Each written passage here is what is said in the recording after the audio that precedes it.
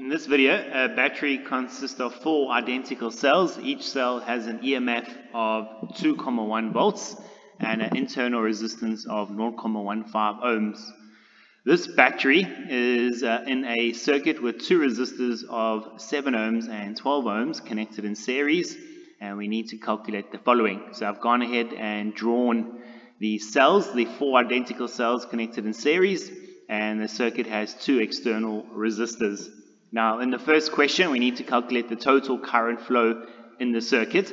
I'll show you the formula for current first for uh, cells and batteries. To uh, calculate the total current, it is equal to the EMF total, the EMF total over big R for external resistance plus small r for internal resistance. So as you can see, there's a few things we need to calculate in order to substitute there. So to determine the uh, total EMF of the batteries and these cells on series, so all we do is we take the value of one cell. Let's just say E1 for example. We'll take the value for the EMF of one cell and multiply by the number of cells. Um, the value for the voltage for one EMF or one cell is 2,1 volts. So multiply by 4 and that will give us the total EMF. And that gives us 8,4 volts.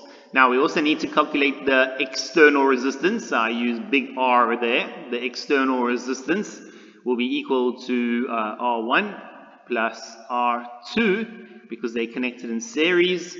So that's 7 plus 12 and that will give us the external resistance of 19 ohms. And now I can calculate the internal resistance of the cells. And to do that, we apply the same principle as the EMF we take the value of the internal resistance for one cell, which is uh, 0.15, 0.15 multiplied by the number of cells. There's four cells in series, and therefore the internal resistance will be 0.6 ohms. Right, now we can go ahead and substitute into our formula to calculate the current. So the total EMF for all four cells is 8.4 volts. The external resistance is 19 ohms and the internal resistance is 0.6 ohms and therefore the total current for the circuit will be 0.429 amps. Okay, let's take a look at the next question. To calculate the potential difference for the battery, now remember potential difference is measured in a closed circuit so therefore we'll be measuring the potential difference across the battery with the circuit closed. So uh, to do this, uh, the easiest way to do it is to say V total is equal to the current of the circuit multiplied by the external resistance. So we use big R. Because the circuit is closed, we are factoring the potential difference, not the EMF. So the total current of uh, 429 multiplied by the external resistance. Uh, they're connected in series. And so the voltage there is 8,151 volts. So uh, potential difference measured in a closed circuit and EMF measured in an open circuit. Okay, next question. Calculate the energy dissipated by the circuit in three minutes. So we're looking at the whole circuit.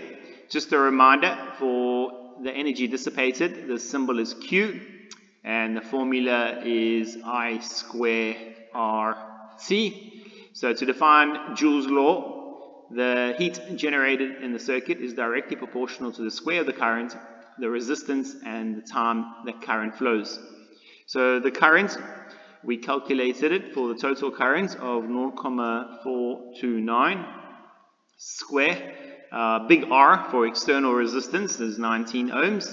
And then to convert minutes to seconds, we multiply by 60. And then the heat generated will be uh, 6 to